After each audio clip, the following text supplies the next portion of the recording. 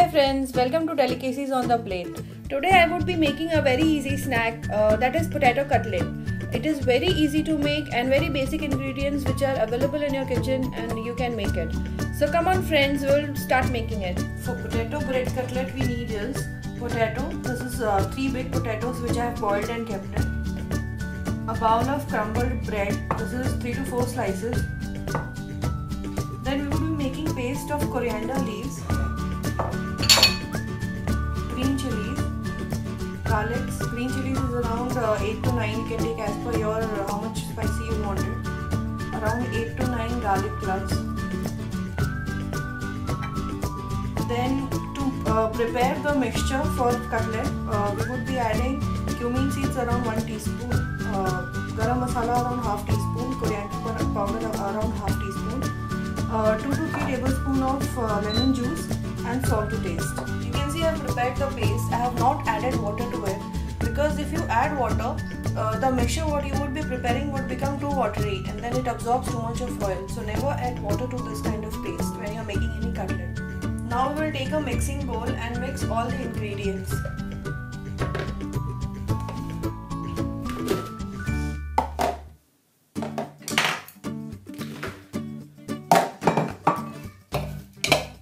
the coriander, ginger, uh, coriander, chili and garlic paste.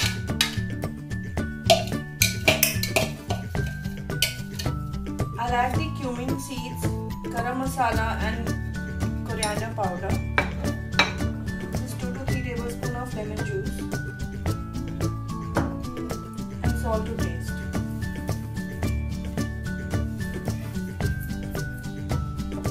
Meanwhile, you are uh, mixing all the uh, ingredients in the mixture.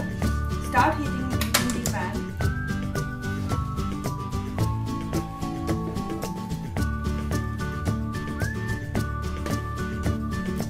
The mixture has been mixed well. My pan is also heated, so now I'll put all oil in this.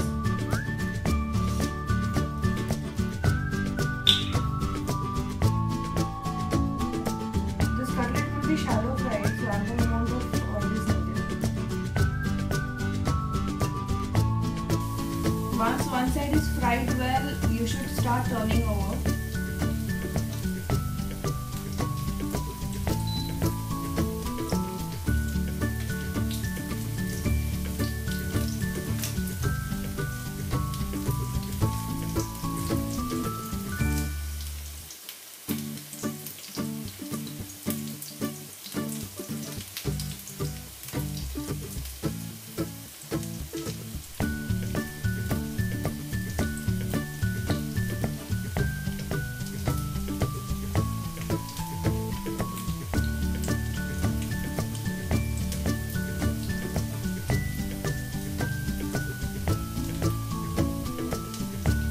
Any shape you can give to your cutlets. It could be heart shape or oval shape or circle shape.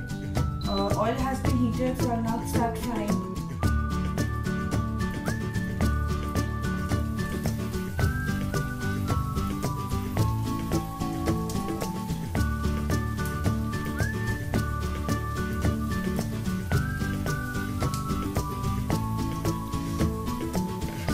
For the cutlet to uh, absorb less oil, the potato should not be overboiled, otherwise it absorbs too much of water.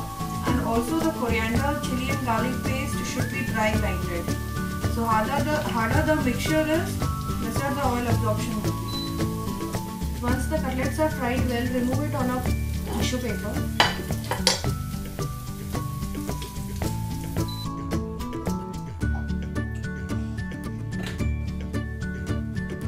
I'm sure you must have liked this video. So enjoy this cutlet with your family and friends.